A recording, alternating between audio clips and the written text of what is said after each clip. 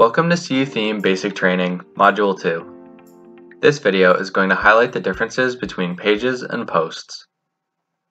A page is basically what you understand as a web page. So right now, I'm on a page, and if I were to click on a link or something in the navigation menu, it would take me to a new page. When you send a link to someone, you're sending them the address of a certain page. So basically, your website is composed of pages. Pages are static content, which make up your site navigation, and it contains information on them. They are meant for content that doesn't change much over time, and that you'll always want your website visitors to be able to find. Good examples of this would be a contact or an about page. Now, let's compare that to a post.